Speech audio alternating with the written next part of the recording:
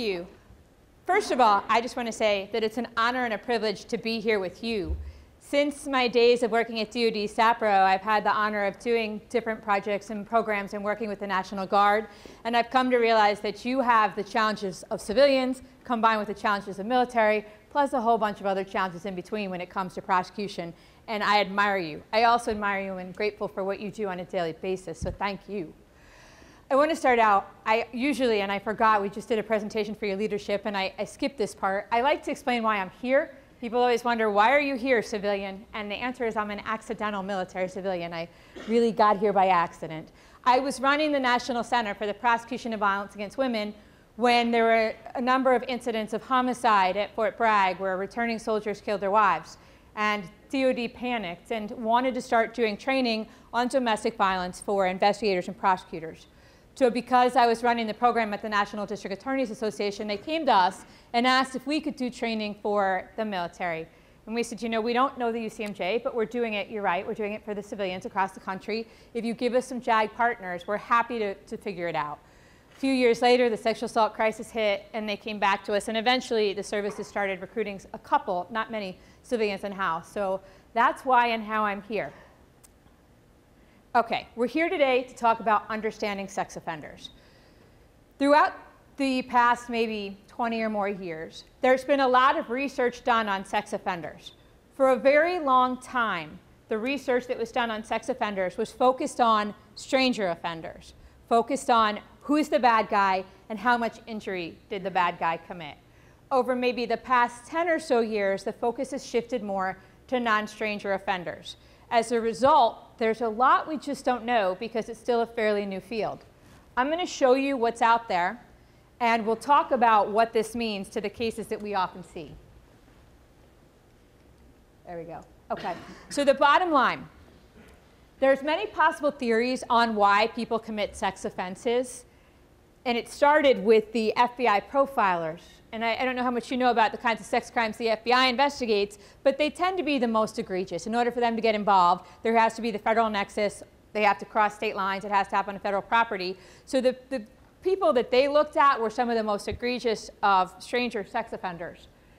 In addition, typically it takes a combination of situational, personality, and attitudinal factors to predict sexual assault, not just personality factors. We've come to learn that from some of the research that we've seen, and we'll talk about what I mean by that. And then, although it's really important to understand what characteristics may be stereotypical of a sex offender, it's most important to look at the facts of every single case. So you could have a person who meets the criteria for a sex offender, has the characteristics, but didn't commit a sex offense. And similarly, you could have somebody who does not meet the criteria for a sex offender, but did. So we're going to talk about what that means.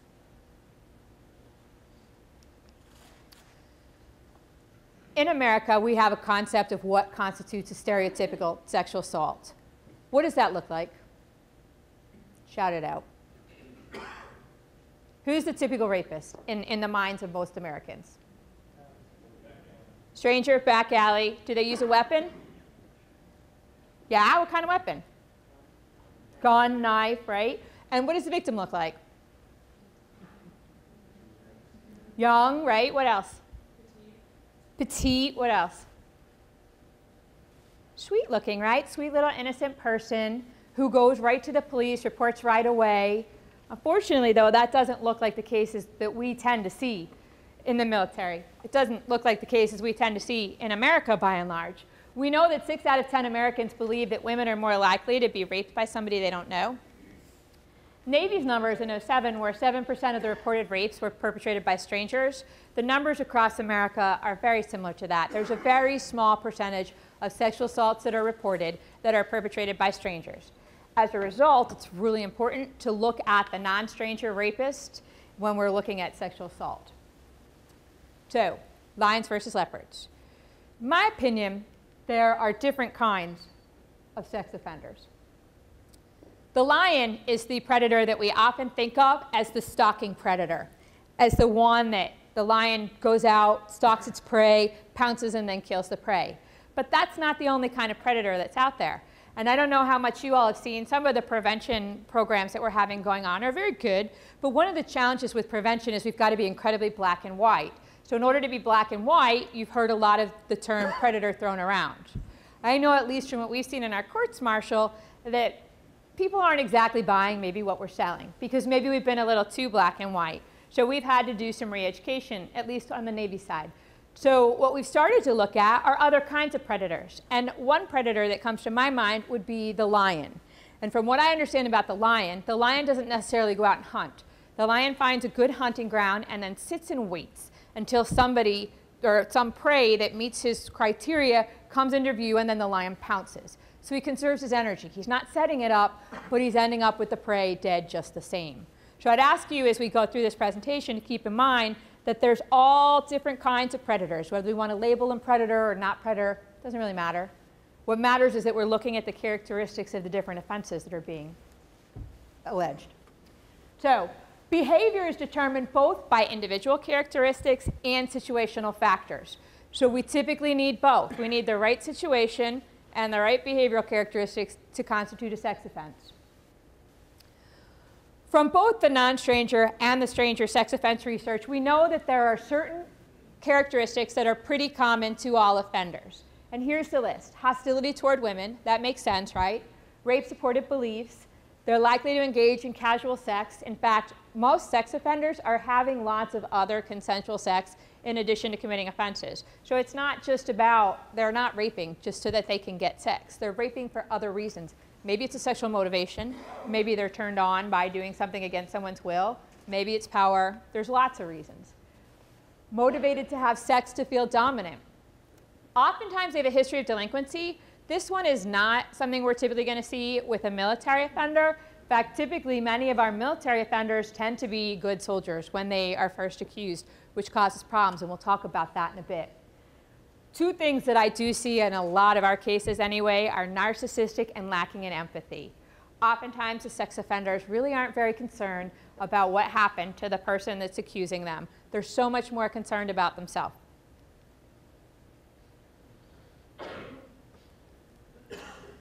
There are two main studies on non-stranger sex offenders. The Lisak study in 2002 and the Merrill study in 2009, which is actually a Navy study. Back in 1992, there was a study by a man named Dean Kilpatrick, and it's called the Rape in America study. And in that study, he looked at rape in America. What does rape look like in America? How many reports are there? What are its consequences? And in that study, that was the first time we heard the number one in four women is likely to be sexually assaulted in a lifetime. There have been a number of studies done since then, which come up with numbers similar to that. Some will say one in five, one in six, but, but a high number of sexual assaults that are occurring. Now, Dr. Lisak knew that there weren't that many rapes being reported in America. So he asked the question, well, who is doing this sexual assaulting that is not being reported? So he came up with a study. And he decided he was going to take a look at two different colleges and college kids are great because typically they don't have a lot of money. So you can pay them to do stuff that maybe some of the rest of us would think twice about. So, so they came up with this study with a couple hundred questions. It was a lot of questions. And buried in the study were questions along the lines of, have you ever had sex with someone when they said no? Have you ever had sex with someone by using force? Have you ever had sex with someone when they were too drunk to consent? So the college kids filled out the questionnaire, got their money, and then the ones that met the criteria as sex offenders were then called in for additional screening interviews. And again, they kept it gray. They thought it was just a, a, an assessment of childhood experiences and impact on their adult life. So it was a whole lot of different topics. And I'm going to show you a video in a little bit of one of the interviews that came out of that. But from that, Dr. Lisak was able to conclude that there were 1,882 men assessed in this study. Of those, 120 were what he called rapists. Now, the lawyers like to argue when they see this number because technically, in order to have rape, you need to have a very specific definition, but sexual assault is much broader. So sexual assault has a lower level of force. So if a victim is too drunk to consent, or if a victim says no, that's sexual assault vice rape. And he's including all of that and using the term rapist a bit loosely. Hopefully you guys are a, a more understanding audience than the lawyers. I have to take a crack at the lawyer sometimes.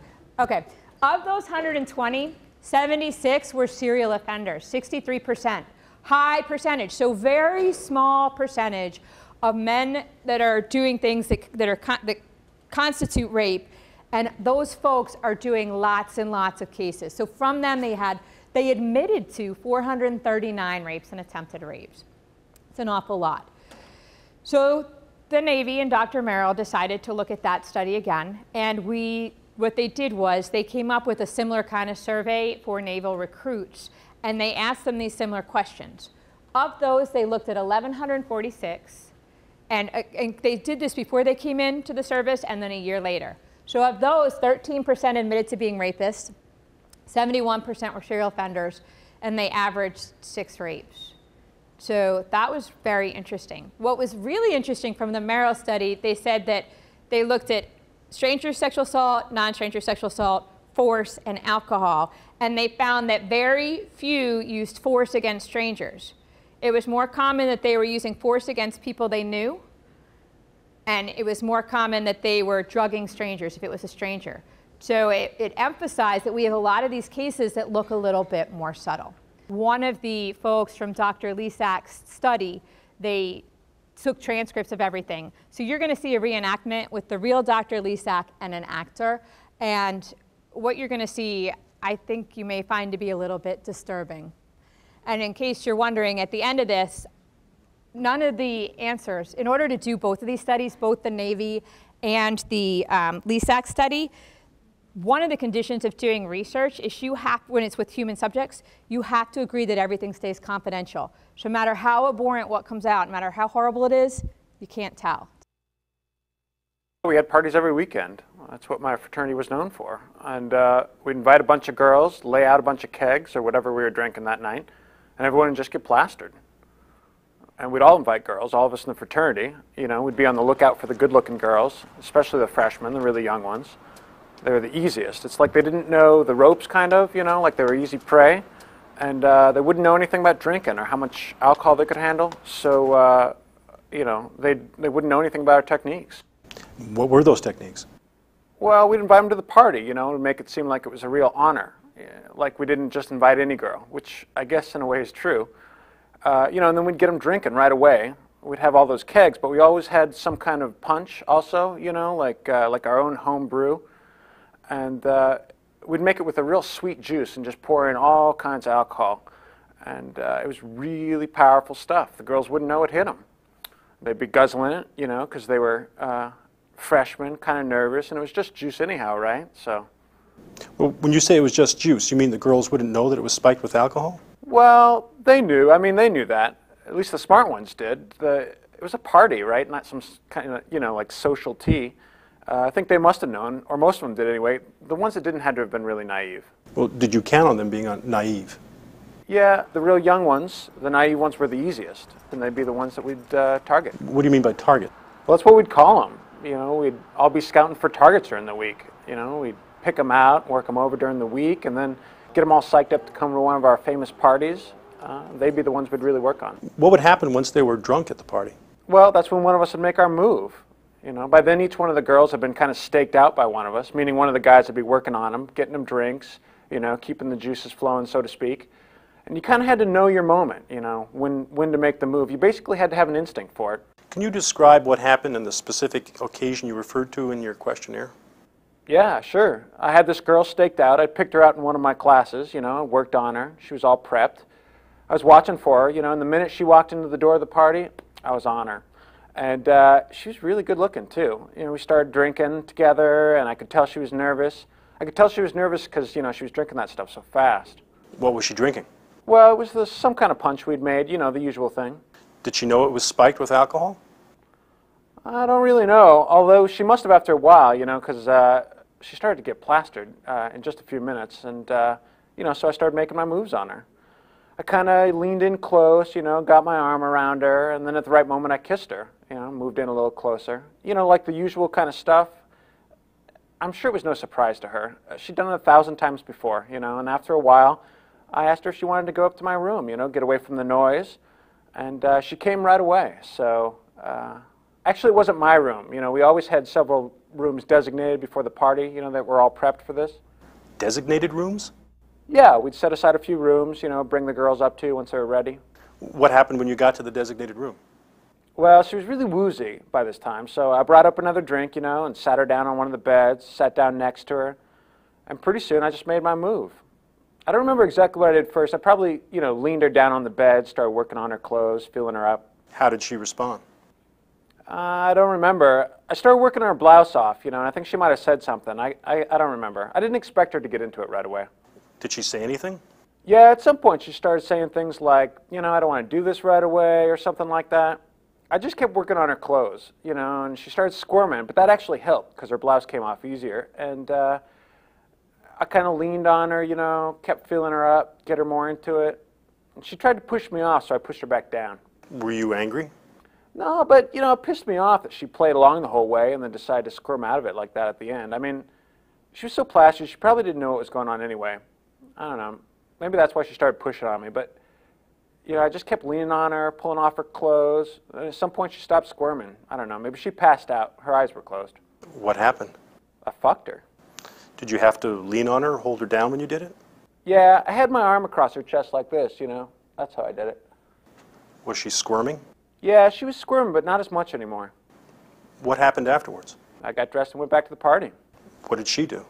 She left. You know, there are many things I think we can learn from this very disturbing interview. Most notably are some of uh, Frank's terms, the language he uses. He uses words like uh, prey, targets, staked out.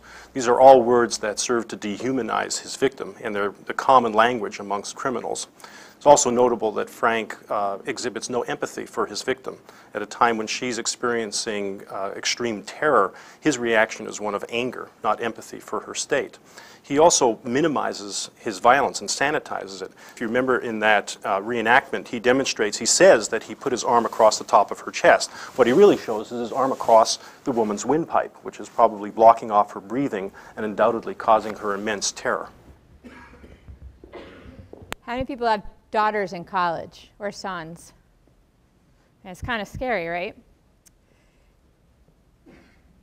I, when I think of this, when I watch this video, this is what I think of. And I've talked to Dr. Lisak about it. Very often, we're not hearing from Frank.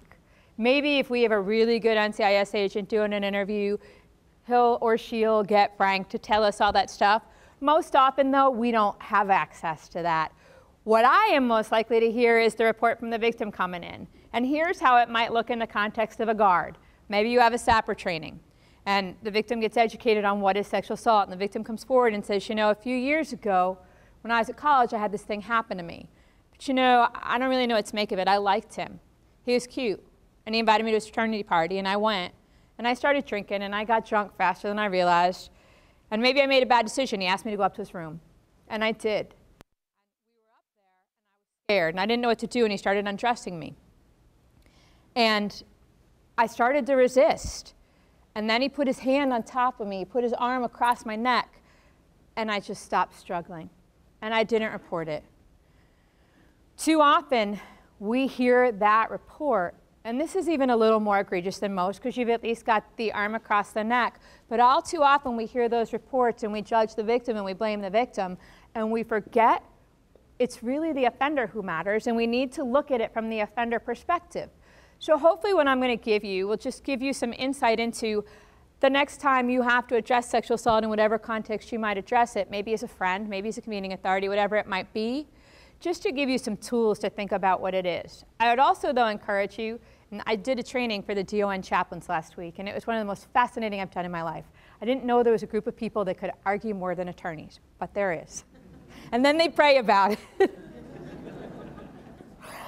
And they got into such a debate about whether a fact pattern was a crime or not. And then they said, well, ask the lawyer. She's in the room. And my response to them was, really, why does it matter? I mean, I'll tell you the answer, folks, but does it matter to you? So oftentimes, unless you're a convening authority or an investigator, when you guys get these cases, they're going to come to you in the context of your friend, either being accused of or the victim of sexual assault. So in those cases, I would highly encourage you to just keep an open mind because you're not there in a judging role, but hopefully this will just help you to understand some of the stuff that's going on out there. All right. Most of the cases that we see in the military involve alcohol. It's just a plain and simple fact. And we know that when alcohol is involved, there tend to be different dynamics at play. In addition to the characteristics that I showed you before of all sex offenders, well, not all, but common characteristics of sex offenders, alcohol involved cases, the offenders in those cases tend to report that they consumed alcohol more during sexual interactions. And they also held stronger beliefs than other folks that alcohol increased their sex drive. They also held stronger beliefs than the rest of the population that drinking was a signal that a woman wanted to have sex with them. So when you talk to a lot of these offenders, they'll tell you, you know, she's wearing a short skirt, she's in a bar, she's drinking. I assume that meant that she was looking to have sex with me. They also, interestingly, have the highest level of impulsivity, which goes back to the whole lions versus leopards thing. Just because they didn't set it up doesn't mean that they're not doing something wrong. Then it gets really complicated because alcohol affects our bodies and our brains. So it's got both pharmacological effects and psychological effects.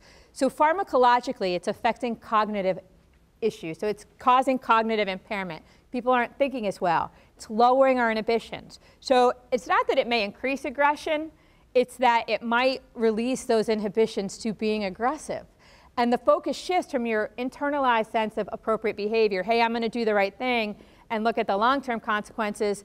The beer goggles go on, and it starts things like getting in bar fights start to become a good idea. Um, it also allows somebody to ignore the inhibitory cues. So if there's a person saying, you know what, I don't want to leave with you, I don't want to kiss you, I don't want to have sex with you, but they're saying it quietly or shyly or not shouting it out, so much easier for somebody who's been drinking to ignore that, which isn't an excuse, it's just explaining what's going on here. Psychologically, again, people might think, hey, we've been drinking, that makes it a lot more enticing to have sex. And if you look, look at alcohol ads. I mean, we sell liquor with sex. So there's a lot of confusing stuff going on in our society, which makes it hard sometimes to parse through these cases. Hopefully what I'm going to give you in the rest of this presentation will make it a little easier. Also, again, we're back to the alcohol might increase the perception that women drink who want to have sex.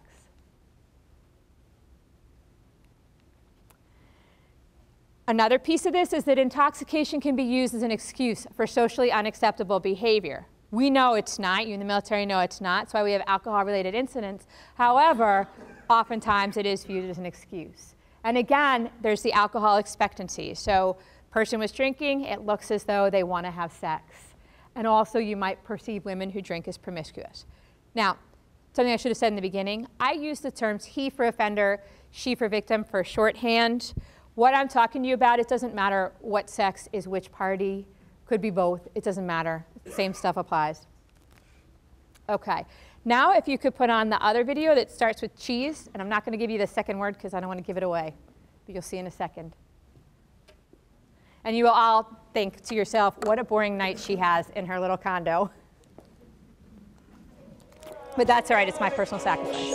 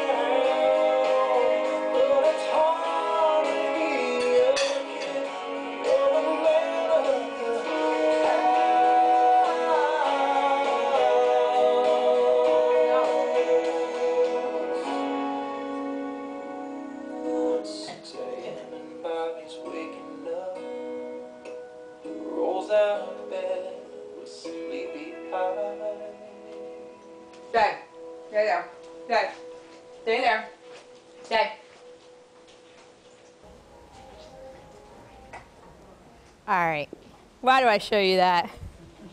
Hey, what Other are you than doing? it's time, you're talking about sex offenders, you just need a little break in the middle. my dog is a really smart dog. She is. Like, I make her, I make myself a cafe latte on the days that I'm off, and she knows that on off days she's gonna get a little warm bowl of milk, but on days when I have to go to work, she's not. So on off days, she somehow knows and she sits there, and on days I'm going to work, she goes back to bed. So she's a smarty. But here's the thing, she's a dog. And even as a dog, she's smart enough to know not to do bad things when I'm watching. She waits until I'm not looking. Give sex offenders at least as much credit and assume that they are at least as smart as my dog. Okay? All too often, I hear from people, you know, he's a great sailor, he's a great soldier. I know, good people aren't going to do bad stuff typically, sometimes, but typically they're not going to do it while you're looking. And I know, yes, there's other things going on in that video. I've created a bad command environment by leaving the cheese alone with the dog, but that's not the point for today. okay, so things I want you to think about when you're looking at scenarios, because again, remember, the situation matters, the facts matter so much more than the characteristics of that individual. It's so important to look at every individual allegation on its own. So we want to look at was there grooming of the victim, the witnesses, or the environment, and we'll talk about what I mean. What do we know about victim selection? Were there attempts to mask the crime, and were there prior incidents? What's interesting is, again, we, when I was a civilian DA, most of my people that I prosecuted, lots of them were homeless, they had criminal records, they'd done all kinds of other stuff. So they would come to prison and their public defender would scramble to get them into the prison suit and you know, they'd all be sitting there wearing the same prison suit. So it was a little bit easier because I had a person that had other stuff going on. You guys get an allegation and you have some, every single military case, we have someone coming in who's wearing the uniform, who has served their country. Many of them are war heroes. They've done heroic stuff. They're good people. So it's very hard to convince that this great person has done something perhaps wrong. However, and typically if they've committed a prior sex offense, and been accused of it publicly, certainly if they've been convicted, they should not be still in the military, although it's possible. We've been doing a lot of training lately about how do you dig out these prior incidents. They're hard. You have to figure out who do you talk to and how do you talk to them to get at them. And, and I can tell you, in the past year or so since we've been training NCIS, we've gotten some really good cases and we found some good incidents because we finally just started looking. So Grooming. The goal of grooming is to facilitate the sex offense and then to keep it secret. It can extend over an extended period of time or it could just be a short little incident. What happens is the offenders are looking for vulnerable, needy victims and they're looking at how to make them that way if they're not already vulnerable. So you want to look at what are the needs being met by these grooming behaviors. It could be positive or negative. Now this is an interesting slide because again, if you get the lawyers in the room, they'll tell you that our law, our laws changed a lot over the past five years due to all the attention on sexual assault. We had one law in 07, it was a second law from 07 to 2012, and it's a third law now post 2012. Proving this in court, proving constructive force cases in court, the bar has been raised, it's slightly higher now. That being said, this isn't all about getting a conviction in court. It's also about getting help, getting healing for the people who've been victimized, and stopping future incidences. Remember the serial statistic for potential perpetrators. So whether or not it meets the definition of a crime, we're still falling into this arena of people are being hurt and people are hurting. So things you want to look at with grooming are the promise of promotion or demotion. That could be one potential incentive. It could be favoritism. It could just be being nice. It could be threats. It could be um, anything that builds trust. It could be gift giving. It could be making the vulnerable victim feel loved or it could be punishment. It could be sexual harassment. So the way you might see this play out is you might see the person who's new to the unit, who's having problems in her marriage, who has had a hard time making friends, very lonely. That's a pretty vulnerable person. And then you see the perpetrator reaching out, bringing them little gifts, befriending them, talking to them, inviting them to dinner, and eventually taking them out drinking once they've already gotten themselves into what looks like a compromising situation. And that's grooming. It might involve making the victim complicit. Again, married person going out to dinner with somebody when their spouse is deployed, that looks kind of complicit. Doesn't mean that the victim's responsible, right? But it looks complicit. Isolating the victim from family, friends, peers, and then testing to see if the grooming's been successful. It's also really important to keep the crime secret. The reason many crimes aren't reported is partially because some victims might blame themselves, partially because some offenders are really good, especially if, you're, if you know that the victim's engaged in collateral misconduct adultery, fraternization, underage drinking, whatever, threatening to tell. You know what, if you tell about this, you're going down too. I'm not the only one. So your career is going to be over. Do you really want to report that? And then the, the defendant oftentimes looks to mask the crime. And again, remember, nice is a weapon. Most of our cases involve people who knew each other. Most of our cases involve people who wanted to be together. And how does that happen? Because the defendant appears to be nice. We don't voluntarily go off in a dark room with the guy who's mean and nasty and cursing at us. We go with somebody we like. Then what happens is they get into that room and something changes very often. And when we talk to victims, we train our prosecutors and investigators to talk to them and to say things like, what did you think of him prior to the incident? What did you think of him after? Did anything change? Some will say, you know, nothing changed. But for many, they'll say, you know, once we were finally alone, once I started to say no to him for the first time, he started to look nasty and he clenched his jaw and his eyes looked angry and he started to cuss at me and that had never happened before. So it's important to look at, to not just assume that because someone's nice that they're not doing bad things in private. Also, the defendant may attempt to characterize their relationship as a relationship. Now, where we see this a lot are the cases where they're luring a teenage girl or maybe a teacher with a student. So you'll ask questions like, well, you knew she went to high school, right? You picked her up after school at the high school and you're 35 years old and you couldn't take her to a bar, you couldn't take her to an X-rated movie, you couldn't do these things. So you kind of chip away, but it's all too easy when they throw out there, hey man, come on, I didn't rape her, we were having a relationship, to just accept that as being true. And here's truly the bottom line. What makes a good target for a predator is oftentimes not what a prosecutor investigator looks at as a good victim. And I say this, I know this from personal experience. When I was a prosecutor, I hated prosecuting DUIs and white collar crimes because you had to lay these foundations and use expert witnesses, and I thought they were hard. Sex crimes were so much easier. We didn't have to do all that kind of stuff. So I started trading with my colleagues. And then I realized why do I have all the really hard cases with all the challenging victims? You know, I've got to get my victim advocate and we've got to make sure that they're calmed down before we go to court. And then it finally hit me. I was looking at it wrong. I was looking at it as blaming the victim and saying, oh, God, you're so difficult. Instead of saying, if I'm an offender, why am I going to pick this person to prey upon?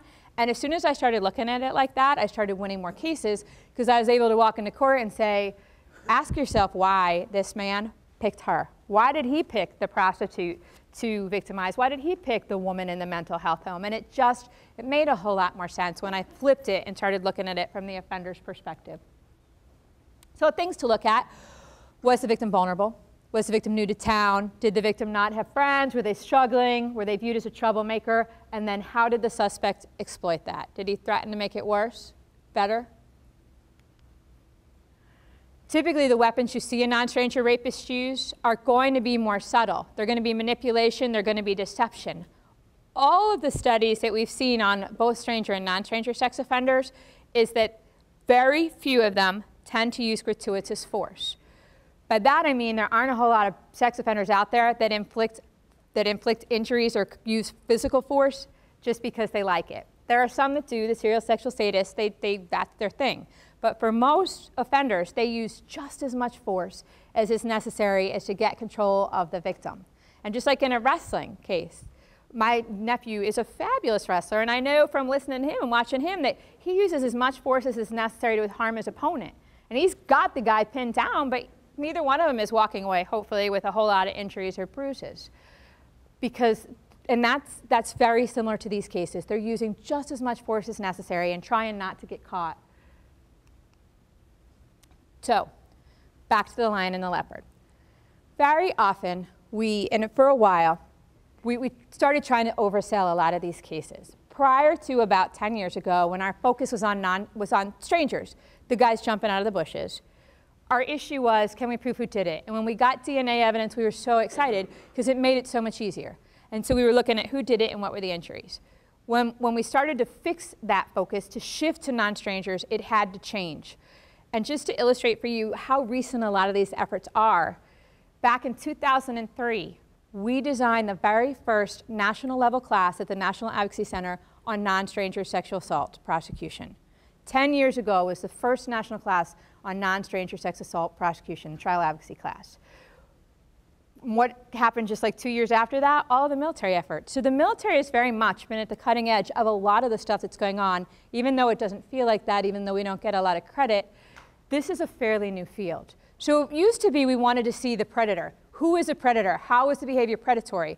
We've become a lot more subtle. We've started to look at was it knowing, was it intentional? Think about first degree homicide. The thing that separates first degree murder from all other kinds of homicide is it's premeditated. It takes a second to premeditate a homicide. And there's lots of people in jail for that real quick premeditation because it was knowing, deliberate, and intentional. Sex crimes are no different. They may not have been set up. It might be that somebody is at a party, everybody's drunk. They look and see that the gal is passed out in the corner. They help her up to bed, and then they help themselves. They make an intentional and knowing decision at that point. So those are the things I would, I would encourage you to look at. Was there a knowing decision made? Was it intentional? Don't just look at was it predatory. Yeah, we do have to look at how, how intoxicated was the accused, whether or not it's a defense to the crime, and it's a defense to about half of them, which makes it a little more complicated. But it's important for fairness sake. But I can tell you, when I talk to people, so many people want to tell me, you know, Teresa, they were both drinking. Therefore, how do you know whose problem it was? I have literally, at this point in my career, read thousands of cases, thousands, between civilian and military cases. I've probably seen 10, maybe 20, where they were at equal levels of intoxication. All the rest of them, there was a, a distinct level of they weren't equal. One was really wasted, the other one was not. Despite that, it's really important because you might have the case, you might have the case where they are both drunk. So look at who could walk, who could talk, did somebody have to be helped, what else was going on, how drunk were both parties, and if the person was not that drunk, then what was their intent? Did the accused use planning, manipulation, grooming, or deception? Did they prey on the victim's vulnerabilities? Did they do anything else to wear down the resistance of the victim? And also, was there an exit strategy? Was there a threat? Did they say, I'm going to come back and kill, you ki kill your kids? Um, I'm going to tell your husband? Was there a promise? I'll get you promoted at work if you don't tell anybody about this. And here's probably the biggest one, because it may just be that the suspect just simply turned a blind eye. Maybe the victim said no, or maybe the victim just laid there and cried, or froze, or didn't participate. We get so many cases where we see that the victim is not participating, maybe articulating no, maybe turning her head but not actively resisting. And the suspect is turning a blind eye to that subtle resistance. So it's what we need to look at is is there something that really looks like consensual going on? Because if so, both parties should be engaged. And if not, was one of the parties turning a blind eye to the other one's discomfort? And I don't know if you intend for me to take questions or not. Happy to. I don't know if we have time. I don't know who can answer that. Yes? yes? Okay. Anybody have any questions, comments, concerns? it's a big group, I know. It's intimidating to ask questions. No? All right. Well, then let me say this. Hopefully, what I've given you is some food for thought, something to think about to realize that it's a little bit more gray than it appeared and that we really need to think it through, that we need to be very intentional and deliberate, that we want to understand that there really aren't these people that are born as sex offenders. There's a few, but the majority of them are just acting out in these ways, in these characteristics, in these scenarios, that they're committing crimes. Then I want to tell all of you, I thank you so much for everything that you guys do. I've done a lot of work with the Guard through my career. And every time I do, I'm amazed at how far above and beyond you guys go with oftentimes very little resources. I'm grateful to you and thankful to you, and have a great day.